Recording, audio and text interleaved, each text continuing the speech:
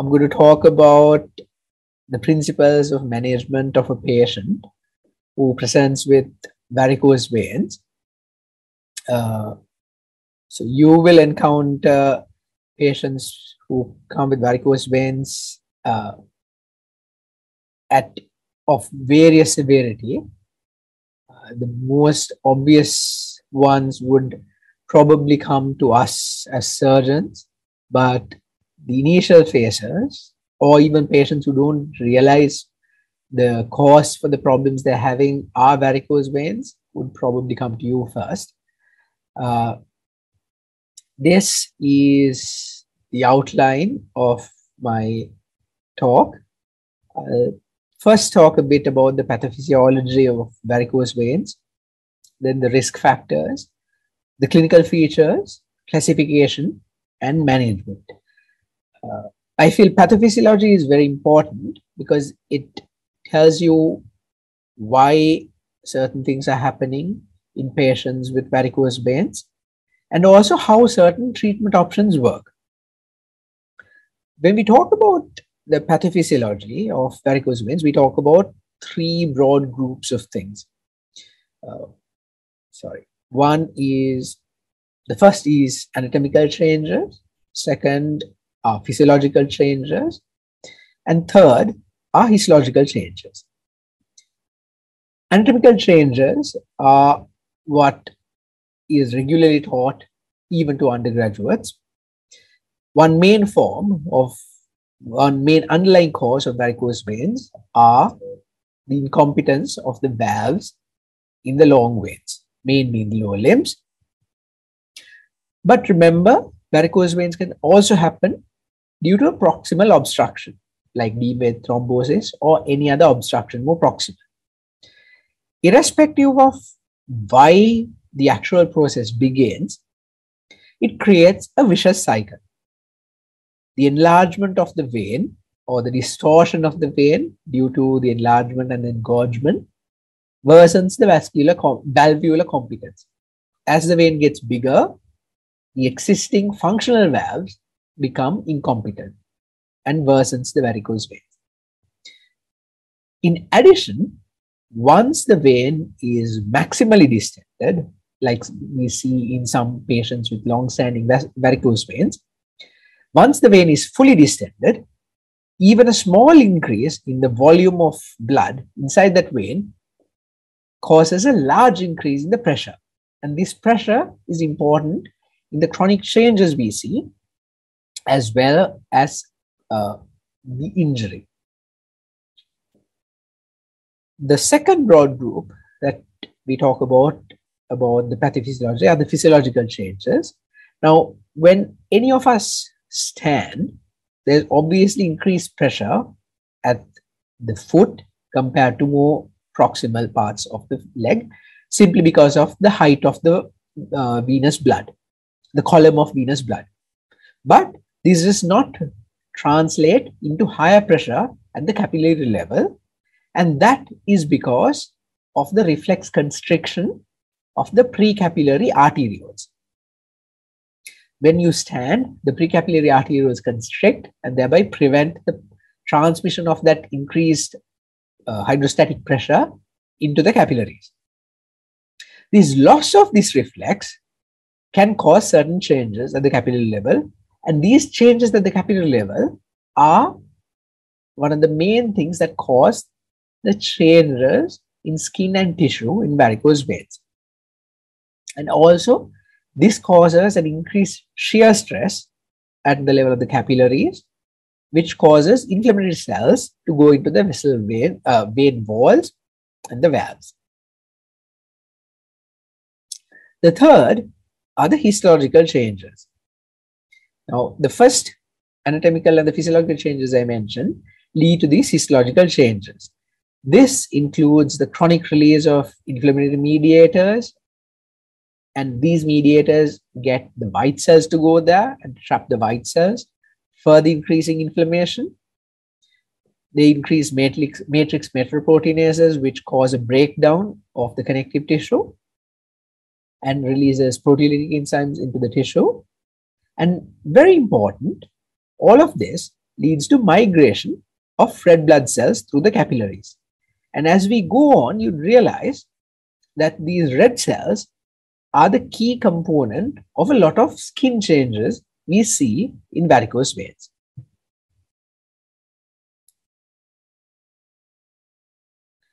As far as risk factors are concerned, I've tried to dichotomize them as non-modifiable and modifiable.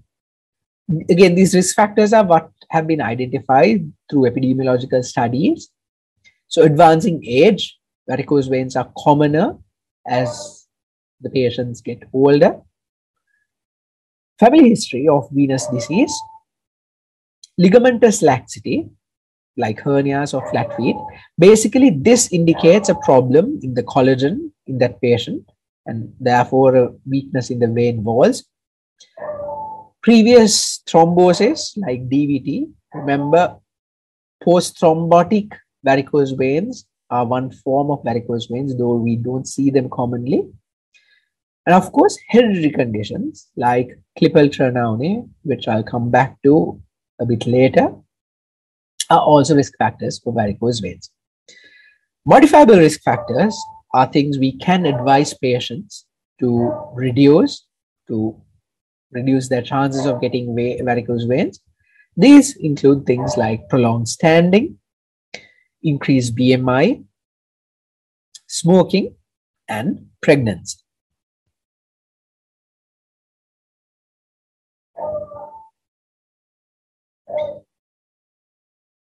When we look at the clinical features, there are certain symptoms that patients often come and complain. And these include discomfort or heaviness in the lower limbs. This is typically worse when they're standing and improves when they're either walking or the limb is elevated, like when they're sleeping or when they keep their leg elevated. I mean, this is obvious most symptoms of varicose veins are due to increased hydrostatic pressure or the pressure inside the vein, vein uh, which transmits into the soft tissue. And it would get worse when a patient is standing and improve when the elevation, but also when walking. Why walking? Walking activates the calf pump and the muscle pump, which improves the venous drainage through the deep veins and therefore the blood in the superficial veins through the perforators enter the deep veins and get pumped up into the body. So you no longer have venous congestion in the superficial veins and therefore walking and gentle exercises will improve the symptoms. The other set of symptoms that patients come and talk about are secondary to the soft tissue and the skin changes that occur due to varicose veins. This is itching, swelling, discoloration, and of course, ulceration. These are a spectrum starting from itching and minor veins to edema to ulceration. And we'll come to this when we talk about the classification of varicose veins.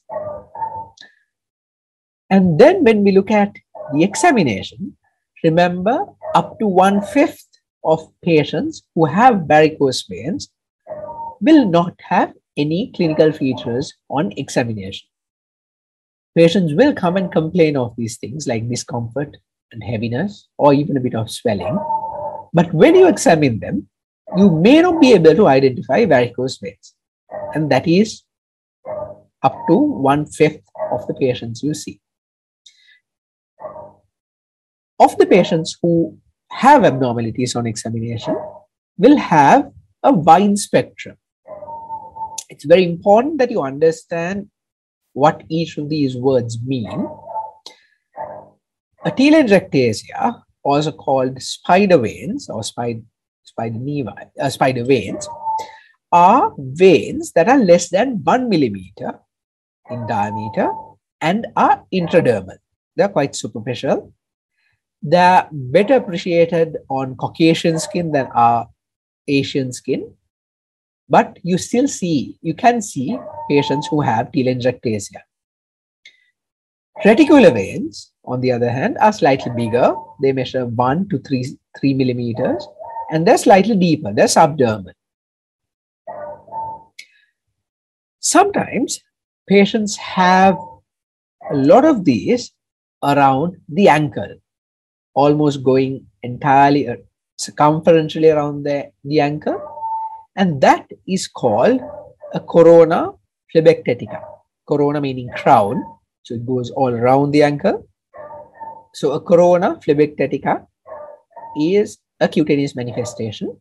And all of these are small veins, technically not qualifying to be called varicose veins.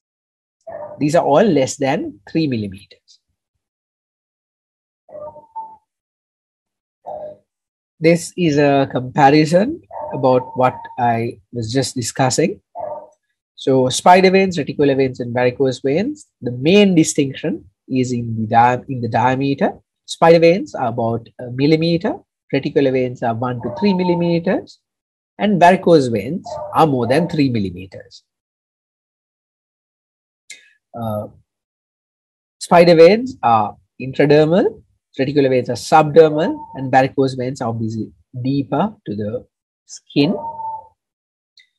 And all of these can cause symptoms like pain, discomfort, heaviness, and varicose veins will cause features of chronic venous hypertension.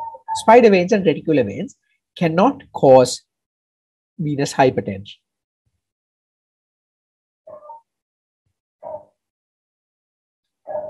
So anything larger than 3 millimeters is called a varicose vein.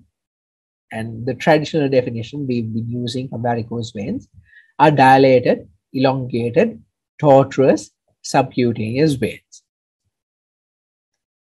For someone to get dilated, elongated, tortuous veins, which are more than 3 millimeters, it is often they have an axial venous reflux. Axial meaning along the axis, along the axis of the lower limb. So it is going to be either a long saphenous or a short saphenous vein reflux.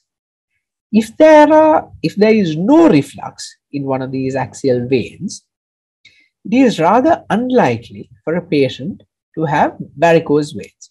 They may have dilated veins, but it won't fit this definition of something being larger than 3 millimeters and being tortuous.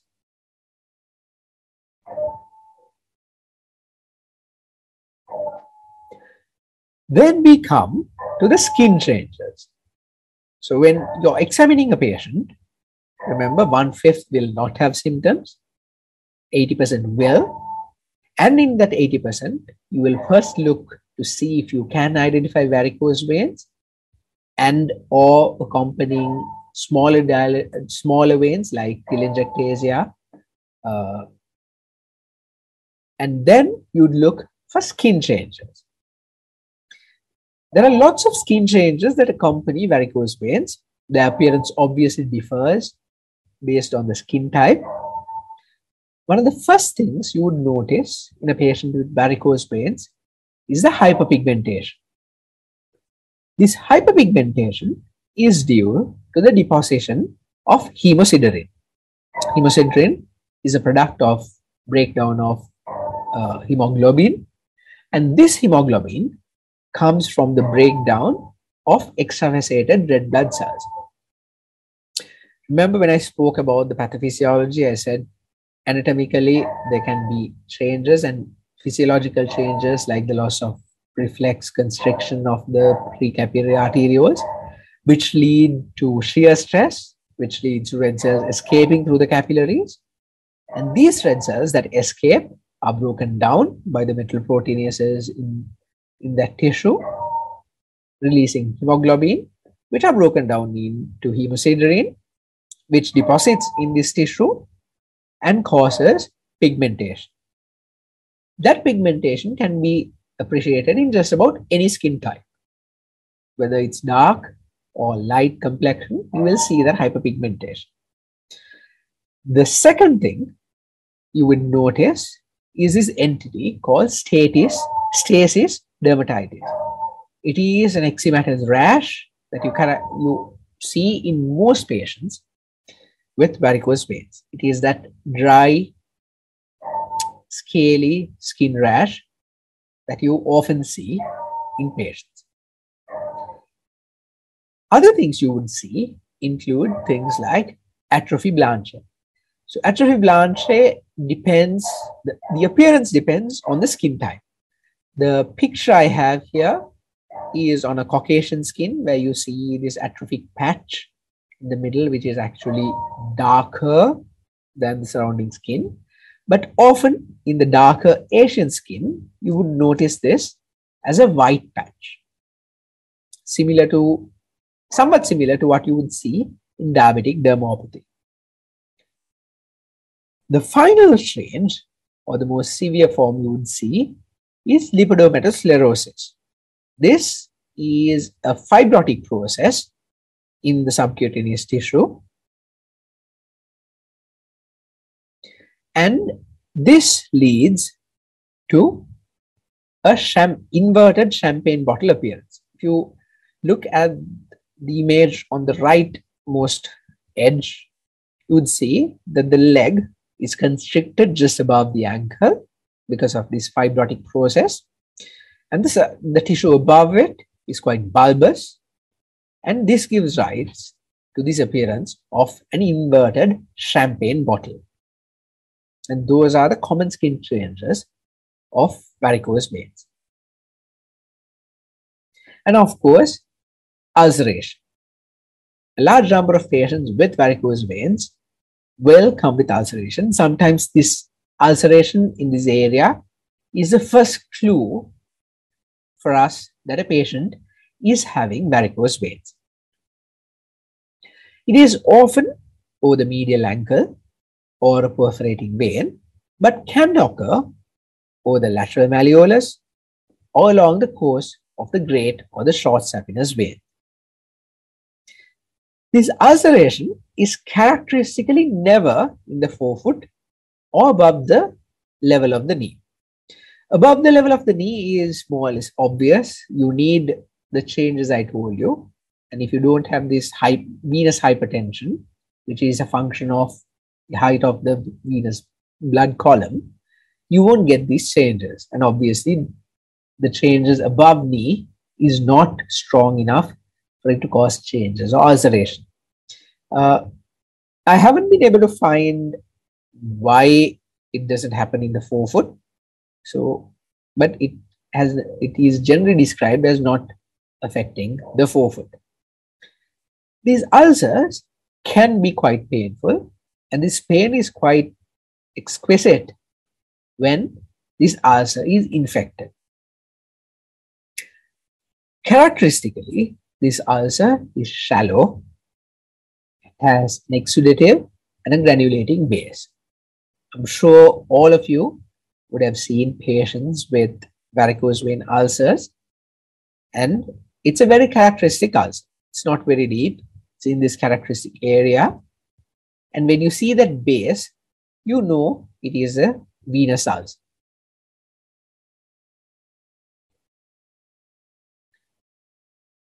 Now that we've looked at all the clinical features of varicose veins or the common clinical features of varicose veins, we need to look at the classification of varicose, vein, varicose veins or the venous disorders.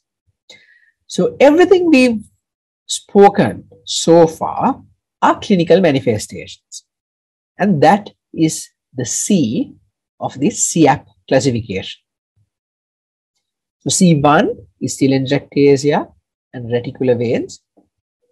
C2 is varicose veins or recurrent varicose veins. So anything recurrent in this clinical manifestation list is denominated by this letter uh, small r in addition to the classification. And C3 is edema.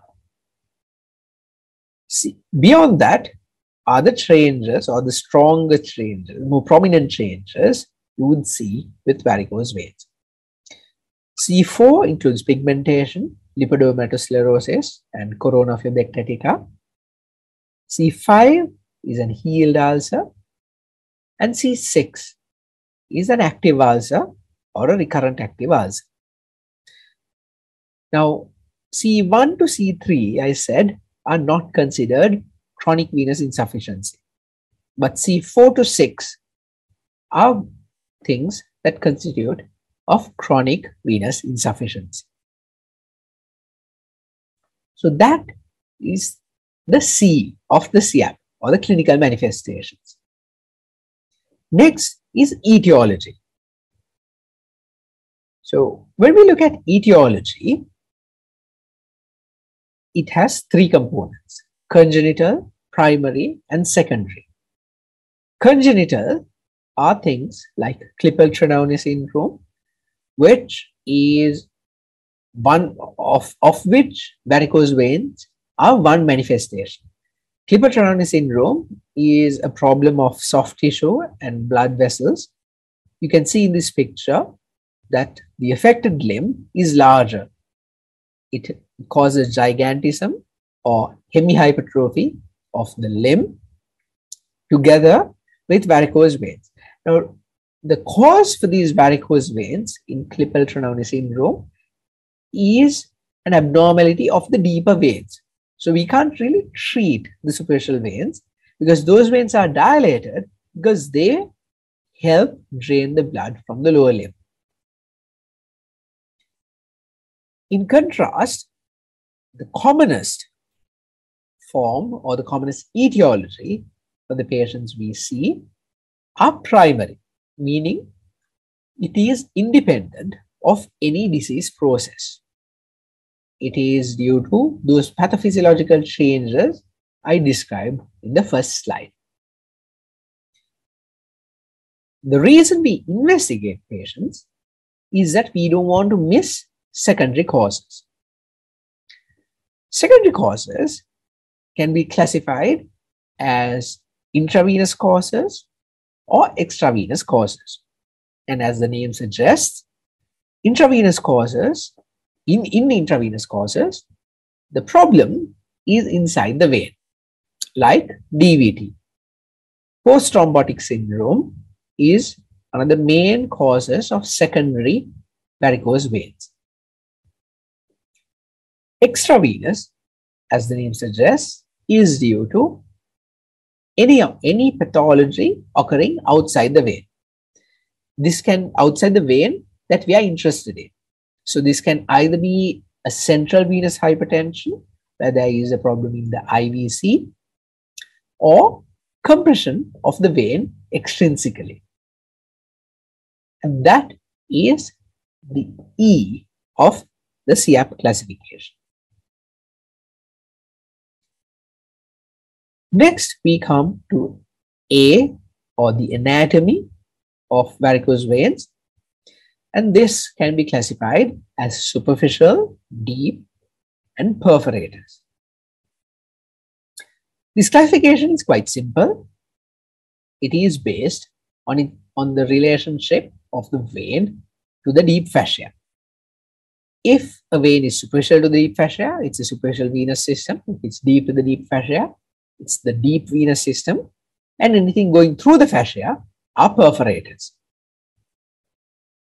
If I were to quickly recap your anatomy knowledge of the varicose veins or the, or the veins of the lower limb, there are two main veins superficial to the deep fascia, and that is the long saphenous vein, starting at the femoral vein, going on the medial aspect of the thigh, just behind the knee, and coming anterior along the medial aspect of the shin to end the dorsal arch of the foot and the short saphenous vein which drains to the popliteal vein and has a more vertical course along the back of the lower limb, back of the leg and going on to the lateral aspect of the ankle and the foot. So that is your superficial venous system of the lower limb. And these are often the veins that get enlarged in varicose veins, mainly the long saphenous, but also the short saphenous. The deep venous systems, as the name suggests, are the veins that are deep to the deep fascia. So from the bottom to the top, you have the posterior tibial and the anterior tibial and peroneal veins or the fibular vein joining to form the popliteal vein, which ascends, becoming the femoral vein, joins the deep femoral vein on the thigh, and becomes the external iliac, which drains into the pelvis.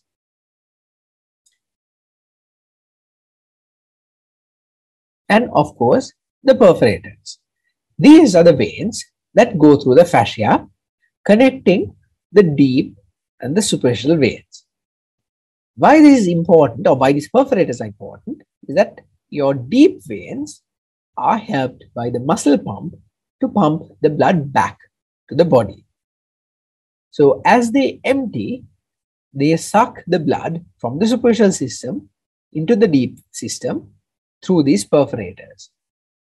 Any problems with these perforators can give rise to varicose veins, which we see as manifestations in the superficial venous system. And these perforators also have valves. Therefore, they prevent blood from the deep system entering the superficial system.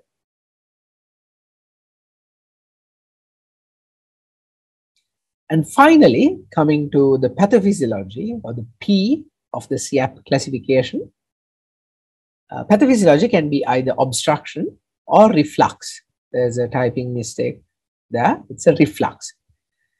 So obstruction is when there is more proximal obstruction, like thrombosis, that impedes the flow of the superficial veins. And reflux is a problem of the valves that allow blood to come back along the axial veins. And that is the CEAP classification of venous disorders. And it's very important that when you see a patient and when you're trying to diagnose somebody as having varicose veins, that you describe along this CEAP classification what the disease manifestation is. For example, a patient can be a C5, meaning he has a healed ulcer, EP, that is a primary etiology, AS, that it's a superficial venous system, and PR, that it's reflux. So that is the use of the CEAP classification. So when you mean, when you write that down and refer somebody, refer a patient to another person, they will also understand exactly what the disease process the patient is having.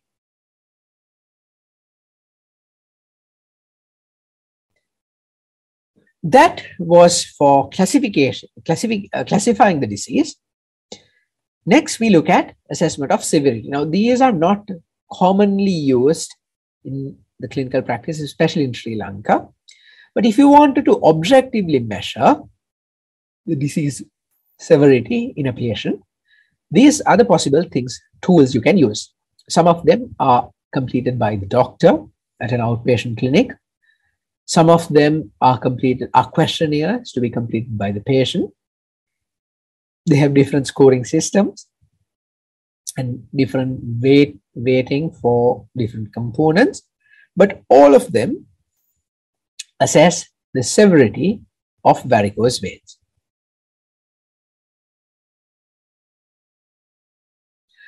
How do we diagnose a patient with varicose veins? It's sometimes very obvious that a patient is having varicose veins, but for the times that it is not obvious, how do we do it?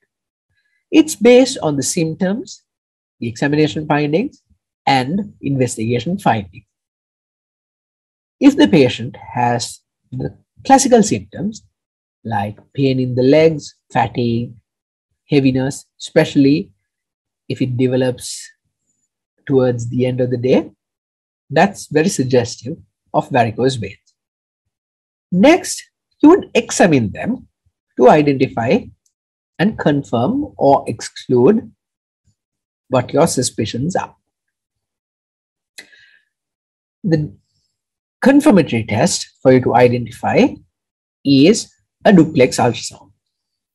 And this will show among other things, what veins are affected, whether it's a long saphenous, short saphenous, and sometimes we get aberrant veins that don't conform to either of these two.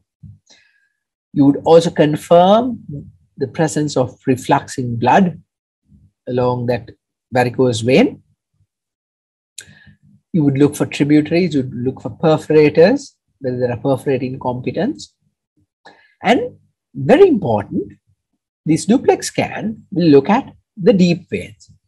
It is very important that we know that the deep veins are normal before we plan treatment and also to know that these varicose veins are not secondary to a problem in the deep vein system. So a venous duplex is an essential test in diagnosing and assessing the severity or the disease pattern of varicose veins.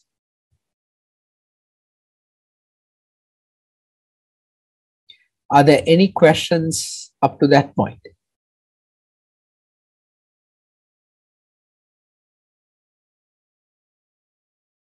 Okay, so we'll move on. When we come to the management, there are different ways that we can approach this problem.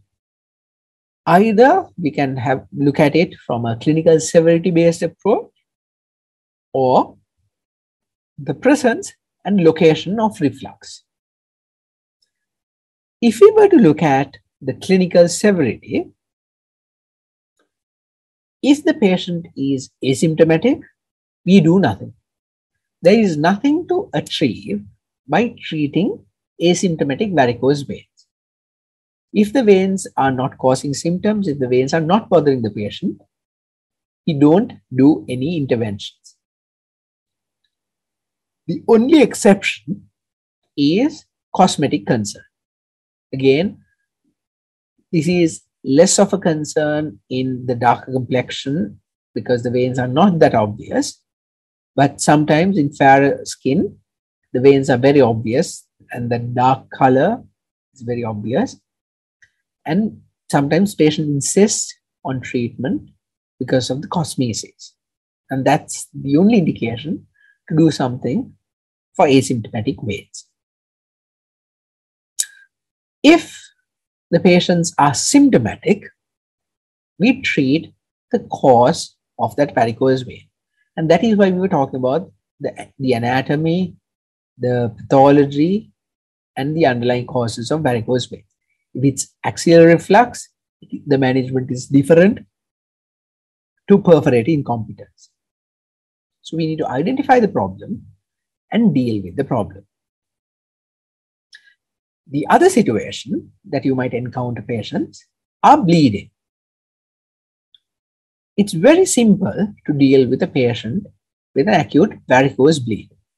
Remember, these are venous bleeds. The highest venous pressure you'd get is about 20 25 millimeters mercury. Can easily be controlled by pressure. All you need, if there's an ulcer or a wound, is to dress that wound and do a compression bandage with a crepe uh, with a compression compression therapy with a crepe bandage. As soon as you achieve compression, the bleeding will settle. Remember, when you're applying this bandage, you need to apply it irrespective of the common place for these things to bleed are near the ankle, but your compression bandage need to come up to at least the knee joint. You cannot apply pressure only at the point of bleeding. The moment you apply this bandage from the foot all the way up to the knee, the bleeding will settle because that pressure will make the vein collapse. The second approach of treating varicose veins is looking at the presence and the location of reflux. If there is no axial vein reflux, like no problems in the long saphenous or the short saphenous vein, we can use either sclerotherapy or excision. I'll come to these techniques a bit later. If there is superficial vein reflux in the long or the short saphenous veins, sclerotherapy will not work. The, there is a high, very high chance of recurrence when you use sclerotherapy alone. That is the time to ablate the vein. And I'll talk about the different techniques of dealing with veins later. If there is reflux of the deep veins, there is, you, the patient will need surgery. These patients are very rare. We hardly see patients who come with problems in their deep veins. And of course, perforated reflux or perforated incompetence requires treatment for the perforators.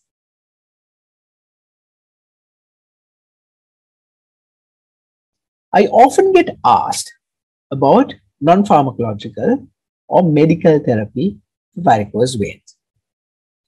And these are something things that you can try in just about every patient with varicose veins you will encounter. Elevation, meaning raising the leg above the level of the body, is very effective. Most changes, be it in the veins, the subcutaneous tissue, or the skin, are due to venous hypertension, and elevation simply settles or relieves this venous hypertension. Exercise is also very important because with exercise, the activity of the calf muscle pump is increased and that increases the drainage of venous blood through the deep veins. So exercise is very important to reduce pressure in the superficial veins, assuming this is a primary varicose vein. Skincare using emollients and moisturizers are also important because of stasis dermatitis that these patients have. Often the itching and other changes can be reduced by using proper skincare products. And of course, compression therapy and care for the ulcers, which I'll go to in detail later. Compression therapy is one of the mainstays of treatment of varicose veins.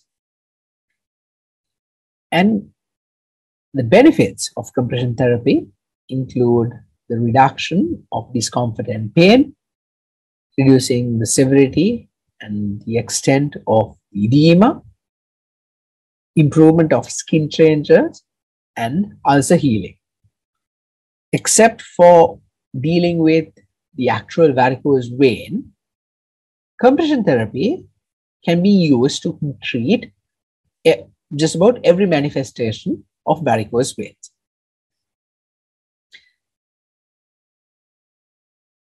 Of course, we cannot use varicose veins in everybody. Uh, we cannot use compression therapy in everybody with varicose veins.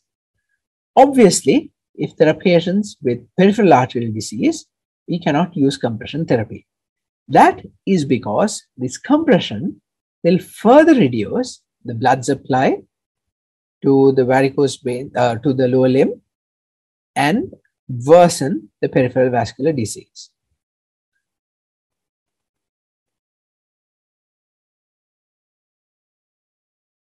Uh, the next instance where we cannot use veins, uh, we cannot use compression therapy for varicose veins, is when there is superficial or deep vein thrombosis.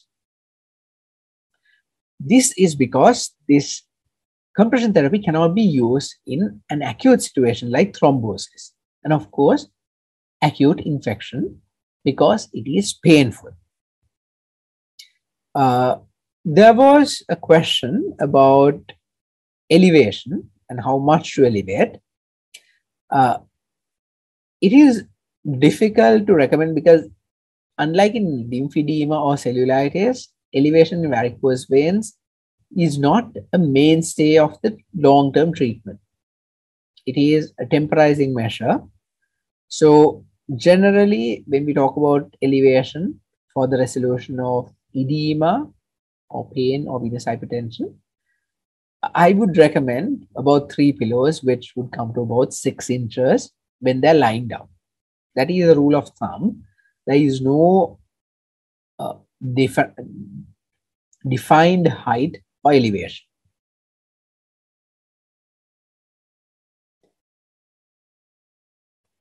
We can classify compression therapy as static and dynamic. Static compression therapy can be further subdivided into compression bandages and compression hosiery or stockings. Bandages can be elastic and inelastic. I'll go to more detail on this because this is one of the main things that we use in the outpatient setup. When we look at compression bandages, they can be either single layer or multi-layer. And they can be inelastic or elastic. Inelastic is when you use a very tight bandage which has no elastic properties of its own. And this forms a tight scaffolding around the lower limb. How this works is when is with high working pressure of muscle contraction. So when the patient walks and the when and when the muscles contract, the tight bandage together with the muscle contractions will facilitate venous return. But it does nothing at rest because it cannot ex exert any additional pressure at rest. Elastic compression bandages, on the other hand, conform to the changes of the leg size and they sustain the compression during activity and rest. So most of the time, what we use are elastic compression bandages, but you'd realize what we use commonly is a very Sri Lankan method of compression bandages. When a patient is using these compression bandages, it needs to be applied at least once a week, if not twice a week, because this elasticity will reduce and in elastic bandaging, it will come loose. The picture shows a single layer inelastic bandage, which is a cotton bandage, which, we, which you can wrap around the leg of the patient. Multi-layer compression bandage, what we colloquially called strapping, requires four layers of bandaging, which we generally don't do because we don't have this material. The first layer is a padding layer of cotton. Uh, this is the one that is in contact with the skin. And the role of this cotton layer or the padding layer is to protect the skin and the tissue against pressure necrosis due to the pressure exerted by the other bandages. When you think about it, and when you do the strapping, you'll realize that at the ankle, your lateral and the medial malleoli are quite obvious. They're jutting out. And if you were to bandage with a crepe bandage straight over that area, the pressure at those malleoli would be quite high and the pressure just behind the malleoli would be quite low and it won't be effective. Remember your long saphenous vein is just anterior to the malleolus. And if you don't exert pressure onto that long saphenous vein, your strapping is not effective. The, the job of the padding is to exert a more even pressure around all of the soft tissue along the entire circumference of the leg of the soft uh, into the soft tissue. So padding is the first layer. Obviously, if the patient needs a dressing for, a, for an ulcer, that would be put first, and then the padding goes on. The second layer is a crepe bandage. This, when you use a cotton crepe, a cotton crepe bandage, it provides an extra absorbency and smoothens the padding layer. In the traditional four-layer multi-compression bandage, the crepe is not meant to exert a significant amount of pressure. Though when we use it, we use that crepe to exert pressure because we have none of the two other two layers of bandages. The third layer is an extensible elastic bandage. If you stretch this to 50% of its normal length and overlap 50%, 50 50, it exerts 17 millimeters mercury of pressure. That's the first layer that actually exerts pressure in compression therapy. And you have a cohesive elastic bandage, which you apply again with compression. And together, these four layers will provide 40 millimeters of mercury, up to 40 millimeters of mercury of pressure, which is higher than most chronic venous hypertension pressures. And this is how a multi-layer compression bandage is applied. Now remember, this is different to the strapping we do because we have we don't have these additional layers. What we use is cotton and a crepe and maybe elastoplaster on top of that.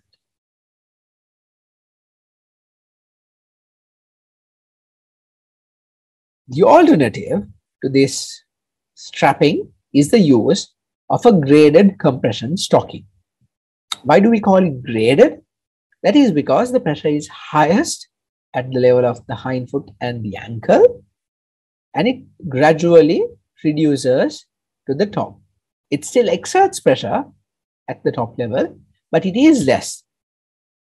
And this grade or the graded application of pressure improves venous flow from the level of the ankle to the level of the knee.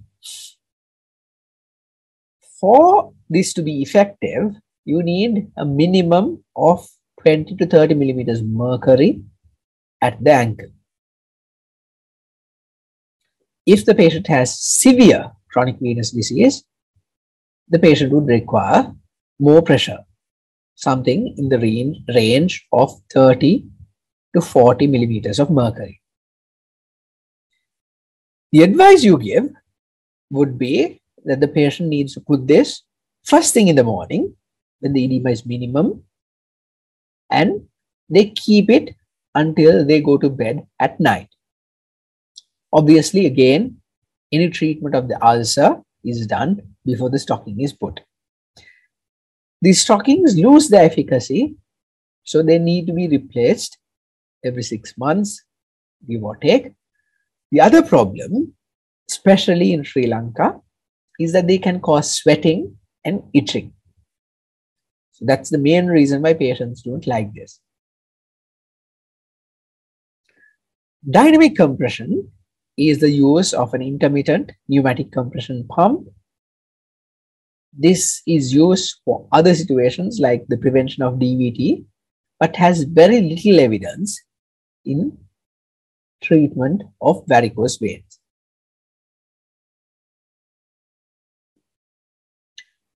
Next, we come to the care of ulcers in, sorry, patients with varicose veins. Remember, antibiotics are not going to heal ulcers. Antibiotics are only useful in patients who have an infection. If there is no infection, antibiotics are not going to do anything. An ulcer will need debris. That depends on the situation of the ulcer. Uh, it, the, it is beyond the scope of this lecture to decide on what ulcers need what treatment. Uh, but if the ulcer base is unhealthy, if it has slough or necrotic areas, those areas need to be removed.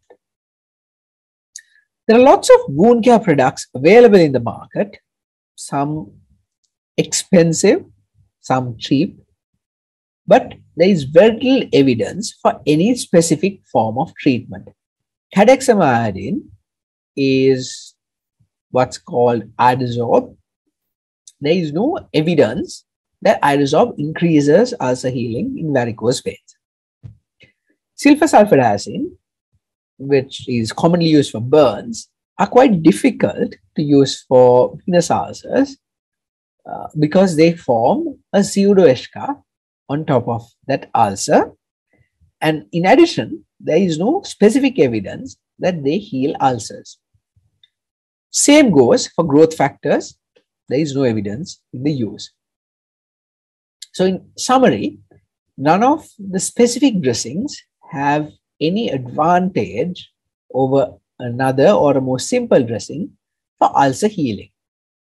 And there are things that are clearly ineffective for venous ulcers, like hyperbaric oxygen or therapeutic ultrasound.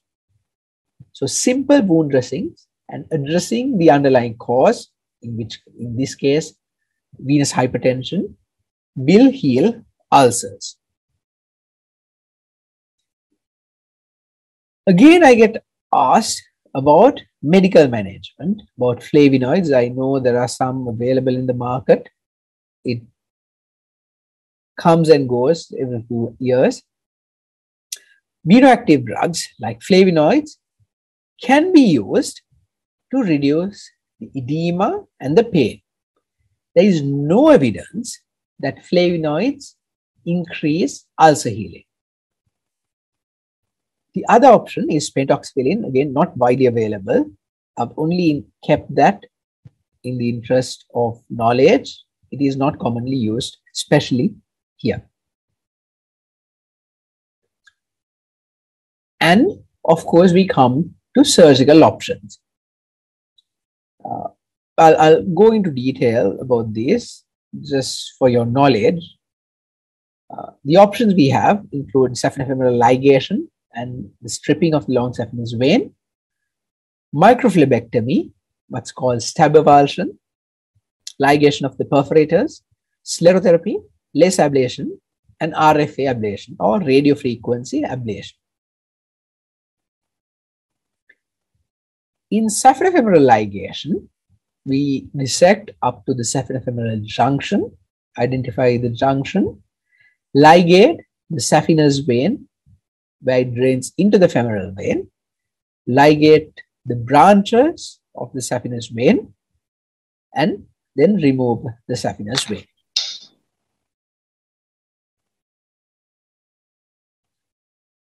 In stab avulsions, we make small incisions, generally less than 3 millimeters, and remove the long saphenous or the short saphenous vein. This is often a cosmetic procedure, and that is why it's called a stab avulsion. The cut less than 3 millimeters is generally not visible and it gives very good cosmesis. And because it's less than 3 millimeters, it often does not require any surgery. Perforate ligation is not commonly done I've kept this in uh, for in the sake of interest. This is a process called subfascial endoscopic perforator uh, surgery or SEPS, where a scope is inserted, perforators are identified and ligated. Again, not commonly done, but it is an option to treat perforator reflux. Sclerotherapy is a very useful tool. We use the compound called sodium tetradecyl sulfate or STDS for sclerotherapy. And STDS can be injected directly as the compound itself or mixed using two syringes with uh, distilled water and air to create foam. The advantage of creating foam is that you, by using the same volume of STDS, you get a much larger volume of foam. So the contact with the intima of the vein is increased and therefore the success rate is increased. This is how sclerotherapy is done. It can be done under either ultrasound guidance or if the veins are very distended, you can inject them without ultrasound guidance. And it is simply a matter of identifying the vein and injecting either the sclerosant STDS or foam of STDS. Laser ablation uses laser energy through a fiber to burn the vein. And that process is called selective photothermolysis. Photo meaning light, thermolysis meaning thermal energy to lyse. This energy of the laser has direct and indirect actions. When the light gets, when the vein absorbs the light, the vein wall heats up and that's a direct action. Indirect actions include the steam bubbles generated from the blood and the conduction of heated blood from the laser. Contraindications to lasers include acute DVT. We generally don't treat varicose veins of acute thrombosis. We wait for them to settle. Pregnancy and congenital abnormalities. We don't treat pregnant patients with varicose veins for two reasons. One, quite a number of these varicose veins will settle in about six weeks after pregnancy when the hormonal changes and the pressure on the veins of the pelvis reduces after childbirth in about six weeks most varicose veins will improve or disappear so we generally wait for about six weeks after pregnancy before deciding on treatment. Klippel-Trenaunay syndrome, as I mentioned earlier, the superficial veins are distended because the deep veins have a problem. We therefore cannot ligate or remove the superficial veins. They are needed by the lower limb. So in all these patients or all these categories, laser ablation is contraindicated. Radiofrequency ablation, again similar to laser, uses a different energy source called radiofrequency to burn the vein, which then narrows and fibroses, reducing or, or obliterating the axial reflux.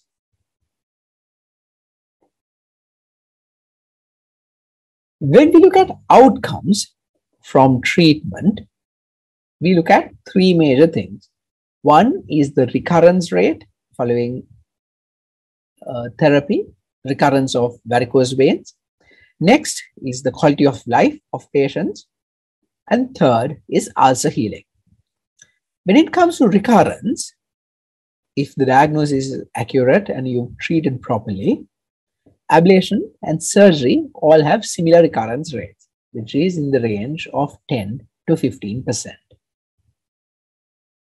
Uh, remember, sclerotherapy has higher recurrence rates because if it's used in patients with axial reflux, there will be recurrence.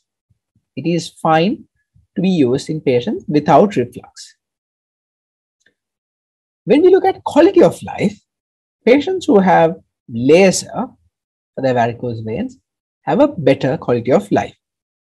But remember, this improved quality of life does not mirror closure rates. It is only their quality of life following treatment. Ulcer healing, irrespective of what treatment we give, if we've dealt with the axial reflux by either stripping of the vein or ablation of the vein, it will improve or it will lead to ulcer healing. Uh, and that is how different treatment options uh, affect outcomes following treatment. There was a question about treatment with uh, clopidogrel and what we do. Uh, and it depends. If the patient comes with acute bleeding, meaning a bleeding varicose vein or a bleeding ulcer, compression therapy is all you need. whether the patient is on clopidogrel or not, it doesn't make a difference. So you can use uh, compression therapy and that will take care of the varicose vein. If a patient is going to undergo surgery, we generally get uh, wait until clopidogrel can be omitted for a week because bleeding when a patient is on clopidogrel is very difficult to treat.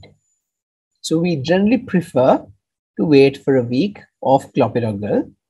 Also, because varicose veins are not life-threatening conditions, and if a patient is on clopidogrel and that cannot be omitted for one week, that means the patient is having a more serious condition, which is far more life-threatening, like maybe ischemic heart disease and an insertion of a drug-eluting stent or a recent CVA. So we prefer to wait until that settles. Remember, compression therapy alone can heal varicose veins. It is slower, but it, it is very effective. So we can use compression therapy if, a, if surgery needs to be postponed. Aspirin is fine. We generally let patients continue aspirin because the antiplatelet effect of aspirin is not that uh, bad for us to not go ahead with any surgery. The advantage of four layers is that you can generate a pressure of up to 40 millimeters of mercury, which is sometimes required for patients with more extensive or severe disease. Four layer over two layer, I don't know about whether there are any randomized trials comparing. If your question is about the use of cotton and a crepe versus standard four layer, the primary problem of using cotton and a standard crepe bandage is we don't know what pressure we are exerting. It is difficult to gauge the pressure using a crepe bandage because it has no indicator of how much we are stretching it. The standard four layer bandage, which the third layer has sometimes an indicator which tells us how much we are stretching it. And then we know if we stretch it to 50% and overlap 50%, it gives 17 millimeters of mercury. The main disadvantage of using our standard crepe bandage is that we can't guess the pressure that we're generating. Uh, advice to patients, well, obviously when they have this four layer, they cannot get it wet. So they need to take precautions about that. Uh, they also need to make sure that that bandage remains in that length or the height that the doctor applied it and it remains tight. Uh, for this strapping to be effective, we generally need to incorporate it up to the knee joint at least. There's no point applying it anything below. So your proximal target should be at least the knee joint. Sometimes the veins are extensive. We would do it for up to the thigh but often it is up to the knee joint. You start it below the ankle because otherwise it will just slip up. So you start it somewhere in the foot. The problem is if you apply it halfway in the foot and if it's tight, you're going to get edema of the foot that is not covered. So it is often better to include most of the foot in your bandage and keep strapping up up to the knee joint. Okay, so in the absence of questions, I will end the lecture. If you have any questions, you can email me